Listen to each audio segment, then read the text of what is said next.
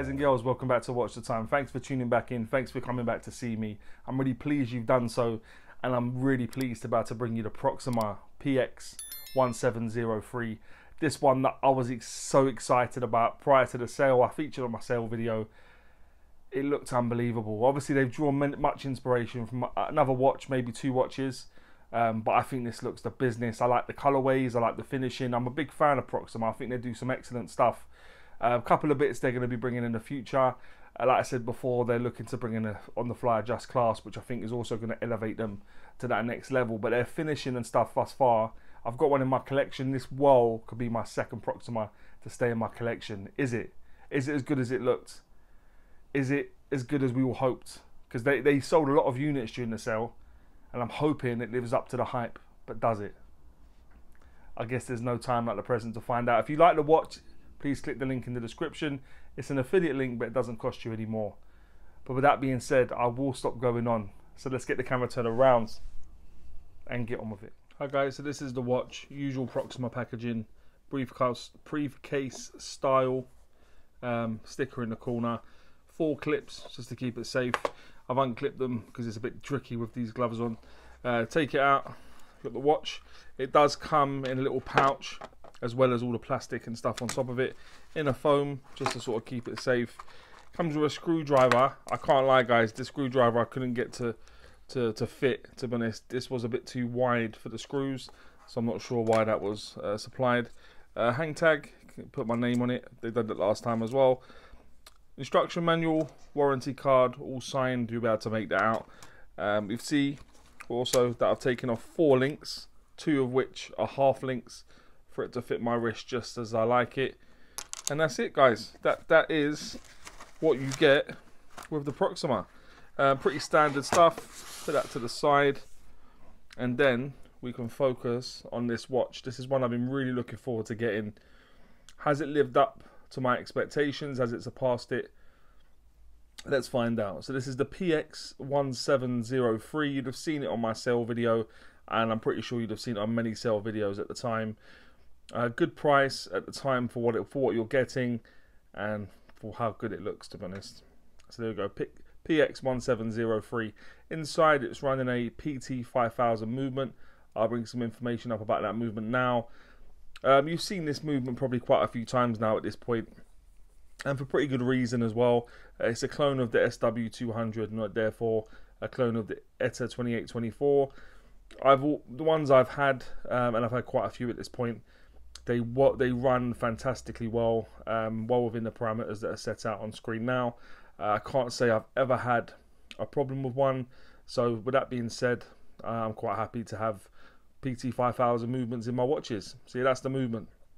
The construction of the watch, aside from the crystal and the bezel insert, is all 316L stainless steel. So the case is really, really nice to be honest, guys. You've got brushing at the top. Then you've got a real thin faceted edge you can barely just make out. But yeah, then it goes to brushed down to polished surfaces, which is really really nice. Nice transitions on there. You got brushing on the on the tops of the bracelet and at the sides, which is continuing through to the the clasp. You got it on the top at the sides. You got a faceted polished edge going through. Very crispy done. Solid end links, brushed at the back, and you got the case back, which is screwed down. The center circle with all the information and the manta rays is all brushed, deep etched, and the outer part of that is high polished. But yeah, the, this this watch is very well well put together. Uh, I like the brushing, I like the finishing. Um, so yeah, it's all 316L stainless steel mixture, brushing and polishing. You've got polishing on the side of the clasp, uh, excuse me, side of the crown also. But there you go. The case thickness of the watch is 12 millimeters. The case diameter I normally measure from the 9 to the three, uh, nine, uh, excuse me, to the eight to the two o'clock position. It's coming in at 39.1 millimeters.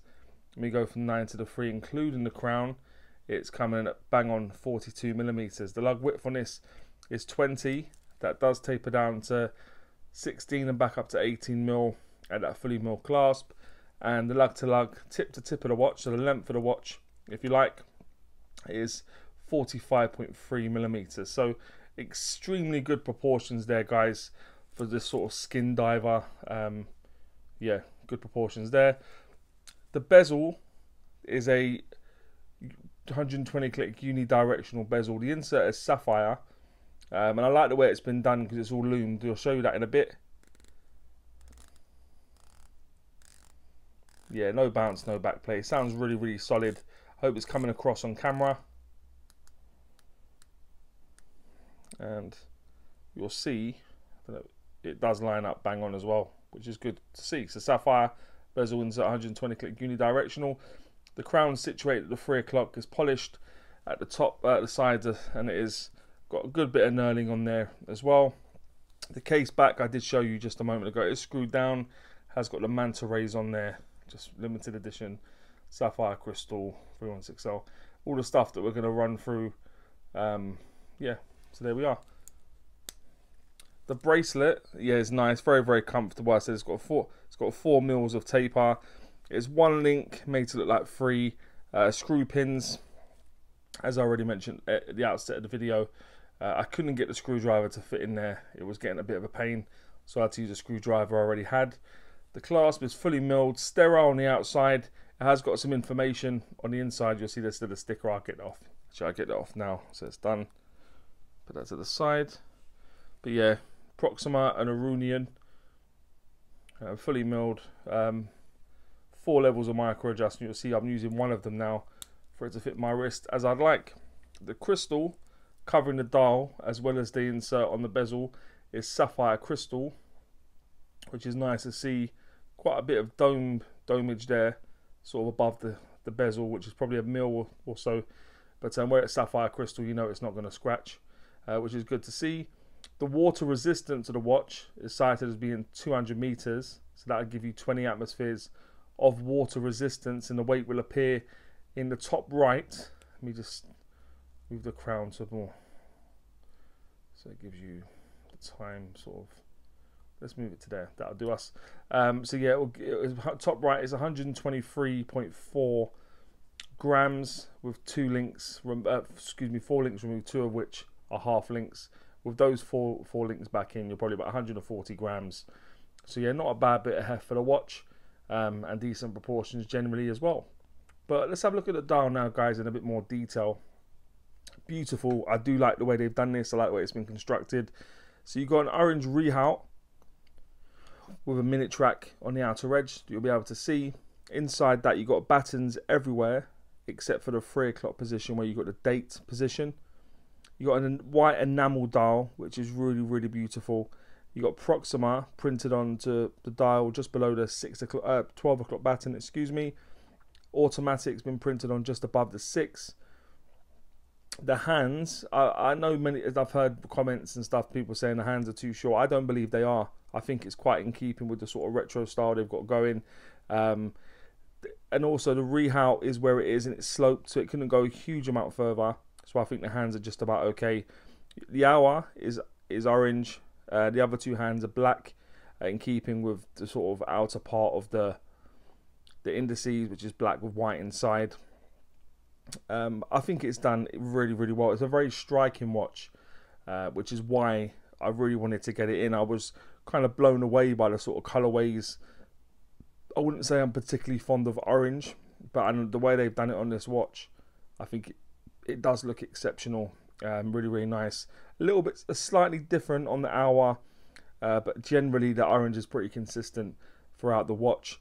I'll bring the lume up now. Um, I was actually really, really impressed with the lume, even at times when I've been wearing it outside.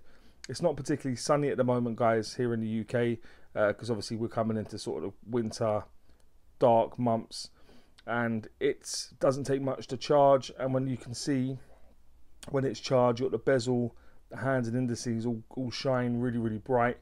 It's been almost like a torch next to my bed in the evening, so yeah, very, very nice to see. Good lume on there. Um, inside, it's running a PT 5000 movement, as I've said. If I undo the crown, it pops away nicely. Uh, the stem's been done to a good standard. You pull it all the way out, it does hack.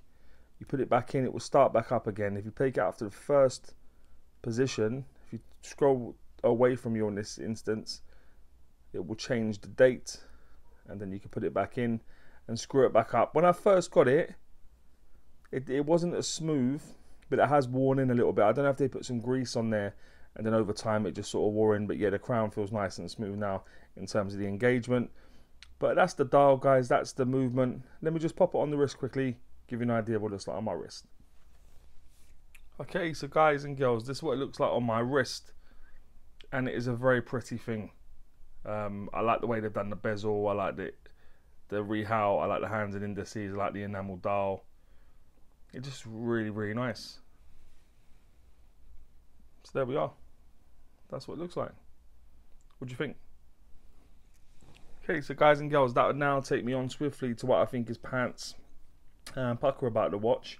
If you've ever watched before, you know I always start with pants. I like to kind of high with pukka. So what I think is pants about the watch, very little. I've got to say, I've, I've, I've really enjoyed spending time with this watch. And to be honest, it's it's lived up to expectations. To be honest, I was expecting a lot, and it hasn't. It's it's definitely delivered.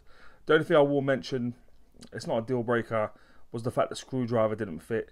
It's the second time now that's been the case where I've had a screwdriver they've sent me and it doesn't actually fit, and I didn't want to damage um, the link or the screw by persisting. So that's the only thing I mentioned because I really do like this watch. So I'm going to go with a screwdriver for pants. What I think is pukka considerably more, so strap yourself in. The sapphire crystal, I like how they've, you can see there's lots of AR coating on there. I like how they've done it. A nice, nice distortion at the sides, which I think looks really, really cool. The dial, yeah, beautiful white enamel dial. Um, and also the rehaut, which will go along with that as well. I think they just look fantastic. The orange and white they've used, they just really complement each other. The hands and indices, I know to some it may be a mil too maybe too short, but I think I, I can work with it. I think it looks really nice. I like the fact it's consistent with the black, orange, and the white throughout. I think that's very very cool. The lume, as I mentioned, the lume surprised me in a way because I wasn't expecting it to be quite so bright for quite so long. I found it to be very very good.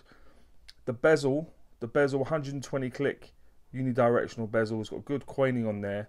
Very very easy to interact with. Uh, again, fantastic. The build quality, the build quality you're getting from Proxima at the moment is just exceptional. Um, I own one, uh, and I'm probably going to keep this one. I'm not going to lie. Um, I think it's just fantastic. Like I said uh, previously, they are now looking to get an on-the-fly adjust clasp. If I could pick one up for this watch, I would definitely do so. And the general look of the watch, I'm not saying it's an original design. They've definitely drawn inspiration from some more well-known watches, but I think it looks exceptional. I really think it looks striking. I've had more compliments on this watch than I have for a long time on any watch. So it tells you a lot. So the things I mentioned. I'd go with the sapphire crystal, dial, rehaut, hands and indices, lume, bezel, build quality, and the general look. And guys and girls, look at all that. Tells you a lot, doesn't it? And that will take me on to would I recommend the watch? Of course, I think it's an absolute stunner. Uh, not the cheapest sort of watch on AliExpress but for me, one of the best you can get on that platform. Um, I think it's just an exceptional watch and one that I will be keeping. There's no two ways about it. If they do bring out a on-the-fly adjust clasp that fits this watch, I would certainly be picking it up. Um, and I don't foresee this going anywhere for quite some time. But guys and girls, please let me know what you think about this watch. More importantly, and maybe any other watches you may want to see on the channel. And as always say, don't forget to like, subscribe, and always watch the time. Take care, guys. All the very best.